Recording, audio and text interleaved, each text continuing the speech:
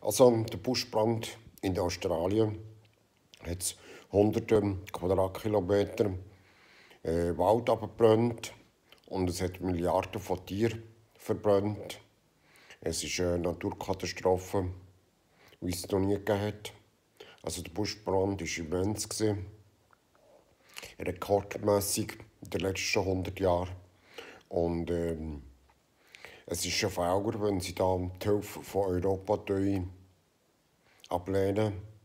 Man muss da helfen, man muss sogar die Armee und die Polizei und alles, alle öffentlichen Ämter dafür einsetzen, damit der Buschbrand kann beendet werden Und ähm, man muss auch die Amerikaner dafür haftbar machen.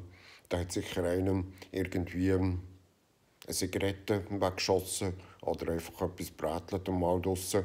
Und nachher ist der ganze Busch in Australien in Brand geraten. Und so etwas äh, müssen wir vermeiden.